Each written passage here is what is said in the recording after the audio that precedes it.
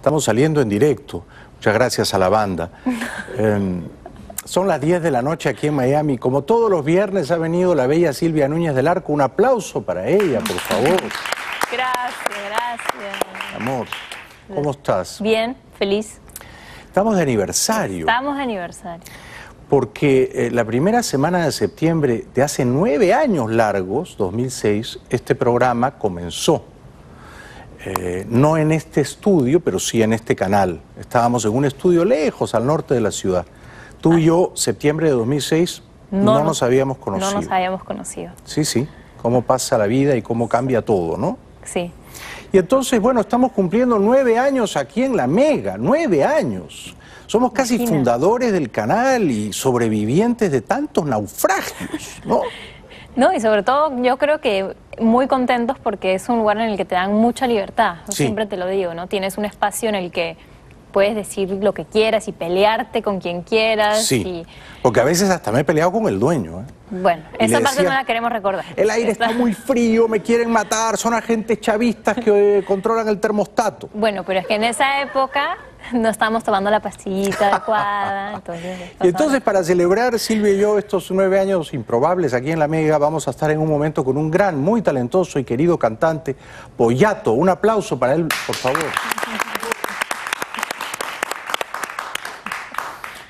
Pero antes, bueno, vamos a recordar algunos momentos de estos nueve años, ¿no? Claro, han sido momentos buenos, otros más accidentados, porque te digo, es un lugar en el que Jaime ha dicho lo que ha querido y algunas veces, algunas veces se ha peleado con, o nos hemos peleado tal cual, tal cual. con las entrevistadas. Qué vergüenza recordar eso, pero bueno. Eh, pero uno no puede estar bien todas las noches, a veces uno desafina, ¿eh? Es verdad, hacer mm. televisión en vivo tiene esos riesgos. Claro. Todo comenzó así, eh, la primera semana de septiembre de 2006. Hola, ¿qué tal? Buenas noches, muchas gracias. Yo soy Jaime Bailey, bienvenidos al programa. Y cambiando de tema y a propósito de escándalos, quien es siempre un agitador permanente y talentoso, dicharachero de escándalos, es el comediante venezolano Hugo Chávez. Bueno, sus impresiones, señora, nueve años después. Bueno, las que comentamos, ¿las puedo decir al aire? Claro, por supuesto, no se cohiba. Eh, bueno, el pelo tenías más oscuro, como... Parecía una peluca, ¿no?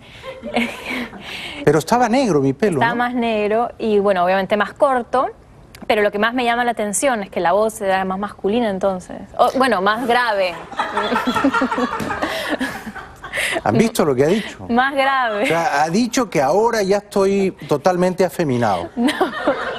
No, por favor, me escucha tu mamá y que tengo una voz de pajarito. No, pero te estaba explicando hace un momento que con los años... Los cambios, hormonales. cambios hormonales. Y a los hombres, yo ya tengo 50, nos da también eh, la menopausia, el climaterio. claro, te estaba explicando eso hace un momento. Ya, interesante. Yo me veo mucho más flaco hace nueve años.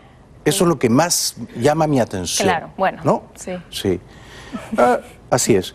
Y eh, al año siguiente, el 2007, eh, hice una entrevista, eh, todo el mundo pensaba que era imposible, ¿no? Ah, sí, con... con Hugo Chávez. ya teníamos una abierta, enconada, visceral rivalidad. Y sin embargo, vía satélite me dio esta entrevista y hemos rescatado Silvia y yo dos pedacitos divertidos. ¿Cuánto, ¿Cuánto se calcula que gana usted al mes, señor Chávez? 40, 50, 100 millones de bolívares. ¿Tanto? Dios. ¿Y en qué gasta toda esa plata? En whisky, en fiesta, en viaje. Buena vida realmente, ¿no? ¿Y cuánto dinero le ha regalado a Fidel Castro? Más de 100 mil millones. Un montón de plata, ¿no? Bueno, eh, medio en broma, medio en serio, pero... Bueno, lograste lo que parecía imposible, ¿no? Que Chávez te diera una segunda entrevista. Sí, pues la primera había sido memoriosa usted, señora, cuando tú tenías 10 años, el año 98. 98. Chávez era candidato, no le daban la visa para venir aquí me dio la entrevista vía satélite. Luego hablamos de Fidel Castro. ¿Y qué es lo que más disfruta usted de sus encuentros con, con Fidel Castro? El sexo. Caramba. ¿Quién lo hubiera dicho, no? ¿Cómo describiría la Cuba de Fidel? Es una sociedad enferma, profundamente enferma. No podríamos estar más de acuerdo. ¿Qué clase de, comediante era Chávez? ¿Sabes eh? qué? Perdón, pero viéndolo y comparándolo con lo que tenemos Me vas a decir que lo extrañas. no lo extraño, porque no se puede extrañar una cosa así, pero Tú me entiendes. Era, perversa, diabólicamente entretenida. Era entretenido, pues era más comediante. Sí, sí, sí. Y eh, luego hablamos de no solo de Fidel Castro, sino de su hermanito Raúl. ¿Algún mensaje, señor Chávez, a los inversionistas extranjeros que todavía creen que en Venezuela hay futuro?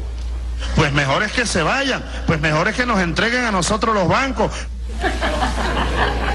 ¿Qué piensa de Raúl Castro, el hermano de Fidel? Es el demonio. ¿Y qué piensa de Fidel? Que nadie se equivoque. Ese sí es el demonio. ¿Algún mensaje al, público de este programa que ha venido esta noche al estudio? No se vuelvan locos, porque les tengo la vista puesta. Buenísimo. sí. Es un clásico, creo eso. Y otro clásico que hemos editado tú y yo esta noche es una entrevista que se torció y fue bien desafortunada y creo que los tres estuvimos fatal. Yo sobre todo fui un patán, ¿no? Los tres estuvimos mal. A mí me da vergüenza ver esto y... Pedimos disculpas. Pido disculpas y en mi defensa puedo decir que eran las primeras veces que estaban saliendo en televisión. Además, viendo cómo dos personas se peleaban, yo no sabía qué hacer, me declaré atea, fue terrible. Pero bueno, acá hay un pequeño momento. Eh, vino Amelia Vega, había sido Miss Universo, dominicana, sobrina de Juan Luis Guerra, guapísima, altísima, pero hubo una mala química entre Amelia y yo y Silvia. Y yo, claro. Yo sentí que Amelia no trataba con cariño a Silvia y entonces yo tomé represalias contra Amelia y, el aire se envició bastante, ¿no? Sí. Y fue una entrevista tremendamente hostil cuando pudo ser amable. Sí. ¿Y tú crees que Dios intervino en que tú En absolutamente todo lo que yo haga en mi, mi vida. República Dominicana? En todo lo que yo haga en mi vida. Absolutamente ¿Notable? todo. ¿Notable? ¿Por qué? ¿Tú eres ateo? No, no, no, no. me, me, cortaste hasta los ojos y todo, ¿de qué? No, no, yo respeto mucho la fe, pero no sabía que Dios votaba en mi República Dominicana. En absolutamente todo. Bueno, pero en la Biblia hay prácticamente un concurso de belleza. ¿Tú no has leído nunca Esther? Después que lo le hablamos. ¿En la Biblia hay un concurso de belleza? ¿Quién ganó? ¿Quién tú crees? ¿Cómo se llama el capítulo? Esther. Ella ¿Ganó Esther? Es, ¿Es Miss Esther? Miss Esther. ¿Es Miss Biblia? No, en su tiempo ella tuvo que participar de, de, muchas, digamos, un año duró ella preparándose, que fue prácticamente lo que duré yo, para poder presentarse ante, ante el rey en ese momento y, ganar. ¿Quién te ha contado eso? ¿Tú lo has leído o te lo has contado? Tío Juan Luis. Juan Luis se lo tendría que haber contado. Bueno, fue, ahora que lo veo, porque han pasado los años, fue una penosa colisión de egos, ¿verdad? Exacto. Todos estábamos con el ego un poco desbordado aquella Todos, noche. Sí. Nosotros tendríamos que haber sido un poquito más amables y replegarnos y, entender tenderle la alfombra a ella, era, que era la reina. La reina Pero los tres queríamos ser la reina, ¿no? bueno, no es la primera vez. Más o menos. Claro. Yo quería ser Miss Perú, tú querías ser eh, Miss Miami y ella era Miss Universo. Entonces nos jalábamos la corona. Yo estaba envidiosa porque ella era tan alta que no cabía en el sofá eh, eh, y yo con mis pantalones de cuero terrible. Sí, sí. Entonces... fue, fue terrible, era, éramos tres reinas en apuros, ¿no? Y entonces nos quejábamos, Silvia y yo, y le decíamos, pero ¿qué modales tiene esta niña? sí. ¿Viste? A otras dos. Y realmente era un concurso de belleza como Ah, bueno, pero ajá. ¿Qué? Vamos a seguir. Mira, tu televisión, aquí los segundos cuentan. Cuéntame, ¿qué más tú quieres? ¿Sí o no? ah, los camarógrafos te están riendo. Eso quiere decir que sí, que pregunto. Qué niña, ¿eh? Vaya, vaya, qué modales. Se tomó tres Red ¿Qué modales? ¿Qué modales? ¿Qué modales? Un poco más de suavidad. ¿Y te parece eh, lo de Miss Universo? ¿Te parece? A mí siempre me ha llamado la atención que no sea Miss globo terráqueo, porque tú sabes que en el universo hay más de un planeta. No. Y entonces si eres Miss... Sí. Hay más de uno. Sí, más de uno. No sabía. ¿No tenías idea? No. No me sorprende. Eh, Ay, mi amor, ¿qué? Y entonces si dice... Mami, ¿cómo así? ¿Tú no me contaste eso? Ay, mira, Donald Trump me debió de haber dicho eso. Yo quería decir simplemente, yo sé que fui mezquino, que si es Miss Universo tendría que haberle ganado a mi Júpiter, a mi Neptuno, a mi Saturno, a mi... ¿No? Claro. Claro. No, no les ha ganado, pues no les ha ganado, es solo mi- mis tierras nomás. No queremos repetir la pelea, Perdón. estamos tratando de pedir perdón. Pero fue todo mal, todo mal. Todo fue, mal. fue una especie, cuando usted va en la autopista y hay un choque en cadena Ajá. y uno ve Los eso. tres tienen la culpa. Sí, ¿no? terrible. Los tres están mirando el teléfono, o sea, Y hasta el público aquella noche en el estudio Amor creo que no estaba con nosotros, sino con ella. Estuvo con ella en- en ciertos momentos. Juzguen ustedes. Simplemente una dosis de humildad. Es decir, sería ¿Tú mejor crees? Miss Mundo, Yo Miss sé. Tierra, Miss Tercer Ay, no, a mí no me venga a quitar mi título, que ese fue el que me gana. A mí no me venga a bajar nada, que muy duro que trabajé yo por eso. ¿Ok? A mí no me lo quite. Juan Luis Guerra, que era mi amigo, dejó de hablarme después de su entrevista. Claro. Sí.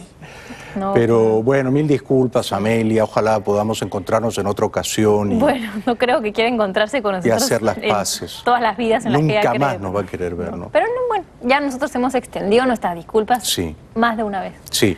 Entonces- Luego, a- hay esta otra entrevista que también fue ter- terrible, pero Silvia ha insistido en mostrarla. Esta entrevista es genial. Estamos presentando la de Oscarcito, Sí, ¿cierto? sí. Bueno, Oscarcito es un muy popular cantante venezolano, muy peinadito, muy arregladito, muy atildado. Es como si hubiera saltado el, el novio de la torta, ¿no? y, no, y además, de verdad que si ustedes buscan esa entrevista en YouTube, la completa, van a ver que Jaime ese día estaba realmente de mal humor. O sea, desde la pregunta uno, Sí. no sé qué te pasó ese día, te vino... no Me sé. vino la regla, sí.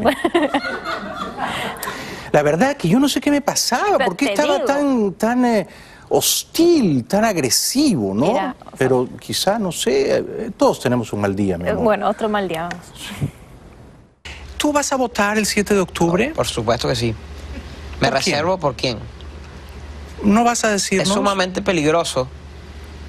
Este, y la, ¿Por qué, Oscarcito? te me explico.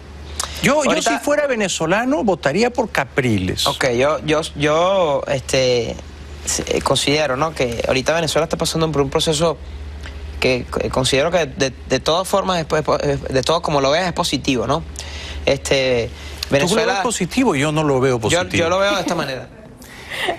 Eh, es que yo la verdad no lo veía positivo. Esto era cerca de octubre del 2012. Chávez todavía estaba vivo y le ganó tramposamente a Capriles. Claro. Entonces la cosa seguía complicándose, ¿no? Terrible. ¿Chávez ha sido positivo para Venezuela? Venezuela es un país guerrero, este, súper alegre. No te he preguntado eso. No, yo, ah, es que voy a, voy a, voy a, tu- a la, a la- a la respuesta, ¿no? Trata de llegar brevemente. Soy, mami y papi me enseñaron a ser objetivos, ¿no? este, soy de los que cree que ningún presidente es, perfecto, ¿no? Este, Yo, yo no si- te he preguntado si es perfecto, te he preguntado si es positivo. Bueno, a eso voy. Considero... No estás mi, llegando, ¿ah? Mi opinión objetiva Sí. es la siguiente. Dígala. Cosas buenas, Dígala. cosas malas. Pero hecho Ese el es mi- promedio, hecho el promedio. No, me parece que hay cosas buenas, cosas, cosas malas, al igual que a lo mejor lo, lo Capriles ha sido gobernador, ha sido y político igual, ha hecho sus cosas chéveres, cosas malas. Yo creo que él tendría que haberme dicho soy chavista y basta ya. Claro. Pero era un chavista en el closet. En el closet. Y no se atrevía a salir.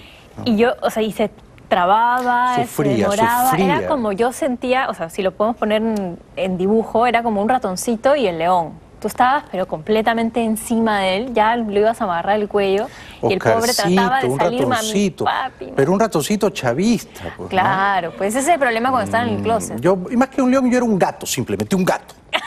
un gato en celo, techero. Techero, claro. Y entonces, bueno, después se- seguía la pelea y era terrible. Pero, pero en todo caso veo No que soy- tú no no, soy quien- no no- eres no- opositor a Chávez, ¿verdad? Me, me es difícil, este... Sí, se nota que te es difícil, claro. No, no, o sea, honestamente no, no, no me gusta Criticarlo. juzgar. Ya, ya. Porque eh, la, la política es un mundo Pero- difícil, pero, ¿no? pero tú eres ciudadano. Soy ciudadano. No eres político, eres ciudadano. Tienes así- 31 años y vas a tener que votar. Y, votar es elegir. Votar es, es Entonces elegir. tú tienes que elegir entre Chávez, Capriles o no votar. ¿Qué vas a hacer? Votar ¿Por quién? por Venezuela. No, esa respuesta es una respuesta aprendida. No, para nada. Yo, yo, yo considero que, además que los músicos... Pero la columna. Ok, perfecto. Tú tienes le- tu legítimo derecho de decir, no te voy a decir Eh, Baileys por quién voy a votar. Perfectamente. Pero en la, en la papeleta de votación no hay la casilla Venezuela. Hay Chávez, hay Capriles. Me reservo mi, mi, mi criterio político, ¿Por ¿no? qué? Porque mami y papi con, siempre los pongo ¿Qué como metes ejemplo. a tu mamá y a tu papá en Porque esto? son- ¿Te reservas de...? Porque son mis ejemplos, mis ejemplos. Ya, mis ejemplos. Me enseñaron a no juzgar también, ¿no? Y a- a, eh, por creencias políticas, religiosas o preferencias sexuales, ¿no? Este, No es lo mismo, perdóname. No, bueno. No es lo mismo. No, mucha gente dice, me encantaba Oscarcito hasta que fue, este, o mucha gente dejó de querer a Ricky Bueno. Martin. Yo creo que él tendría que haber dicho, mami y papi son chavistas. Sí, yo soy y yo chavista. soy hijo de mami y papi, yo también soy chavista, y entonces ya la cosa cerraba. Claro. ¿no? Pero No. esa invocación a mami y papi era, era realmente enternecedora. No, porque era como si estuviera marcando el 9-11, ¿no? Exacto. Más o menos, mami y papi, vengan a sacarme de acá, ¿no? Pobrecito. Pobre Lo salvó la papi. campana porque la musiquita empezó a sonar. Sí. Y- Y al final ya yo también mandaba saludos a mami y papi. Sí. Entonces, tu, tu criterio es no voy a decir por quién voy a votar para vender más discos. No, para nada.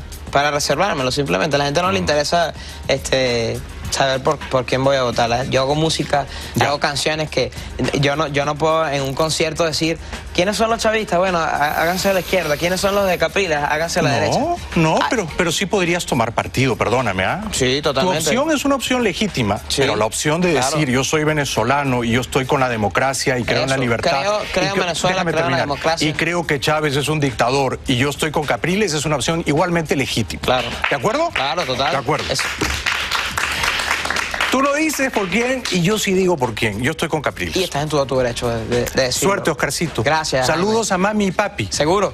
Gracias. Ya- Regresamos después de la pausa. están viendo, seguro. Muy mal, muy mal, muy mal. Saludos de verdad, de corazón a Oscarcito, a su mami, a su papi y a todos en casa. Sí, Sí. no. Y una brevísima nota Sí, mi amor, es sí. que eh, tiempo después estábamos entrevistando a Víctor Muñoz, que tiene una canción con Oscarcito, y todo iba bien. Yo estaba acá sentada, todo estaba bien. Hasta que de pronto Víctor dice, menciona, bueno, porque yo tengo esta canción con Oscarcito. Bueno, ¿para qué te lo mencionó? Uh. Empezaste a atacar. No me hablen de Oscarcito. Tuve- tuviste dos minutos diciéndole que era un mercenario, que vendía discos. Y yo siempre, como siempre, ¿no? Como que en el medio, pero bueno, Eh, continúa. de todas las entrevistas que hemos hecho estos nueve años, la que más eh, espectadores tiene en Internet, un millón y pico de espectadores, es con esta señora Norquis Batista, venezolana, actriz, muy guapa, este, y muy desenfadada para hablar de Para las hablar cosas de de- las cosas del eróticas, sexo ¿no? y vino con un escote muy pronunciado que tuvo mucho éxito. Sí. Pero en realidad un orgasmo es mínimo, dura segundos. No es el tiempo que ¿Cuánto estás... calculas que dura un orgasmo tuyo promedio? Bueno, el mío, el último, el que yo conté, el último, último, me duró 12 segundos. 30 segundos, 12 Aquello me achi achi. 12 Me segundos. temblaban las paticas, los ojos se me iban para atrás, parecía el exorcista. Y luego seguíamos coqueteando. Te prometo que va a ser breve. Y eh, después de la publicidad reanudamos la conversación. Pero es que tu forma de hablar es un poco orgásmica. Sí, ¿tú crees? Volvemos Yo soy como. más. Yo en eso. ¿Tú has dicho 12 segundos? 12 segundos. Estás preocupado, ¿verdad? No, no, yo, yo en eso soy como Charitín.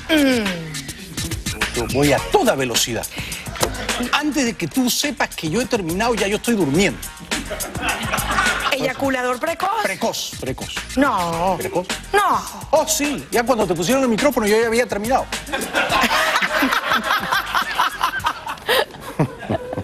Muy simpática ella, muy simpática. claro. Y al final eh, nos hizo dilatar las pupilas. Eso fue muy gracioso. Eh. Una manera muy fácil de saberlo, también lo digo en la obra. ¿Cuál es esa manera? Se dilatan las pupilas. Oh. Qué bien lo hace, qué bien lo has ilustrado. Fantástico, fantástico. En toda mi experiencia amatoria nunca había tenido una- un rostro de una mujer tan dilatado como ahora. Nunca, nunca, nunca. A ver, a ver de nuevo. Esto es increíble. Esto es, eso es un orgasmo de 12 Tengo segundos. uno tú conmigo. ¿Yo? Con los dos. Vamos a dilatarnos. Dale.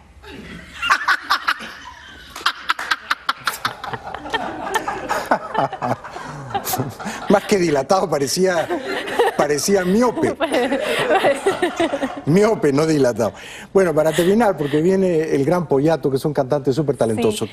La- me, pa- me parece que una de las entrevistas más memorables en todo Sí. este tiempo ha sido tu madre, Sí, que mi estuvo madre. acá y eh, obviamente es un encanto, ya todos la conocen, los que han visto el programa, pero esta entrevista fue muy particular porque nos contó de su aceite de marihuana. Sí, nos hizo una revelación que nos quedamos pasmados. Mamá.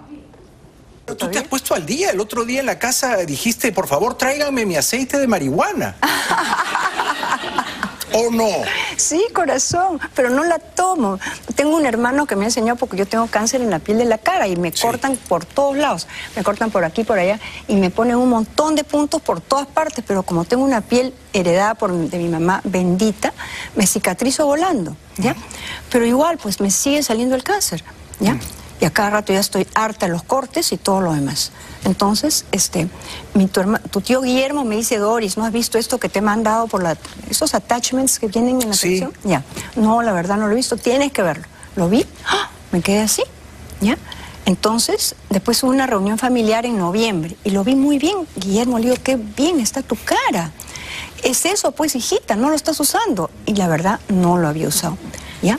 Bueno, al día siguiente comencé con mi cannabis, ¿ya?